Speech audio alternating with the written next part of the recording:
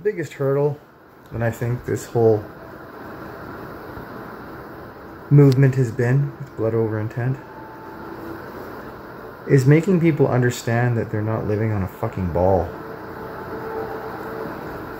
See, that's the one they just can't seem to get the horse out of the gate on. And uh, I've tried explaining it to you really simple. You cannot have gas pressure without a container. You cannot have gate gradient gas pressure without a container. I mean, I don't know how fucking stupid you really are. I, I just, I don't know. I mean, I can't understand how come you're so fucking stupid. Gas has got a pressure and volume. Feel free to use PV equals nRT. I take a box and I put some gas molecules on one side, and there's a partition holding them in that side. Then I remove this partition and I wait a little bit, then I know the gas fills up.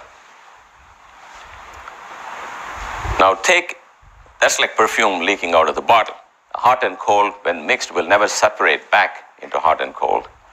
A gas, that genie that got out of the bottle won't go back. This gas that came out won't go back. There's a whole lot of processes which we call irreversible. They never seem to happen backwards, they only happen forwards. And we cannot list all of them. I will take this opportunity to list one second law of thermodynamics violation, which would be the notion that we have a sky vacuum. If the sky was a vacuum, the gas we breathe, which is at pressure, would fill the availability of volume it had to fill. Therefore, the sky is not an availability of volume for the gas to fill because we'd all be dead. And it's Also, I would like to add that the word atmosphere is a fucking oxymoron because the word atmo literally means air.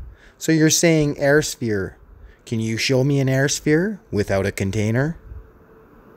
Well, can ya? Punk. really amazing that there is one law, a single law that not only is qualitative but is quantitative, that tells you exactly when some things can happen and when some things cannot happen. And according to the one single law, all the things that we say don't happen won't happen. Will be forbidden by the law, and that's the second law of thermodynamics. But what form does it take? Well, we will see. It introduces a certain quantity called entropy, about which, let's say, right now, we don't know anything. And the law will simply say the entropy of the universe will always increase. You don't have to write it down. Yeah, because I haven't got a brain.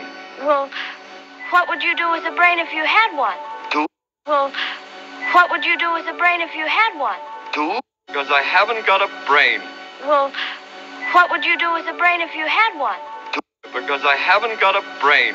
Well, what would you do with a brain if you had one? Do,